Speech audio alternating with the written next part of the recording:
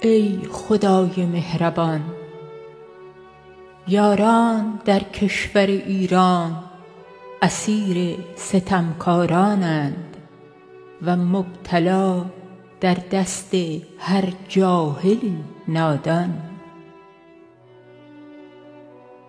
ای پروردگار کار گنهکاران را مپسند.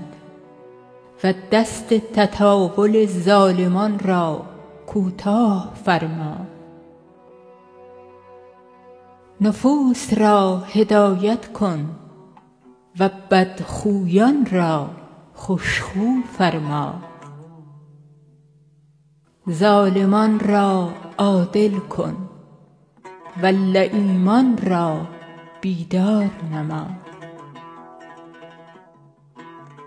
اسیران نفس و هوا را آگاه کن و مقید غل و بغضا را رهایی بخش.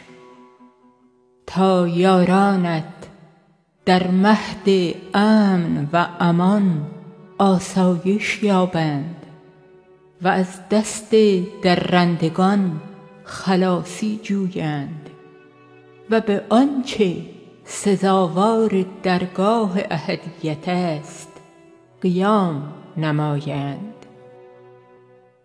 تویی مقتدر و توانا و تویی عزیز و کریم و مهربان.